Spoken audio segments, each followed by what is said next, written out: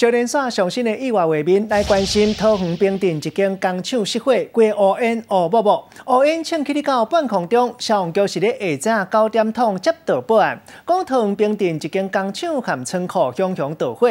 乌恩请去哩到半空中，消防局隆重出动二十台车，四十三人来到现场拍火。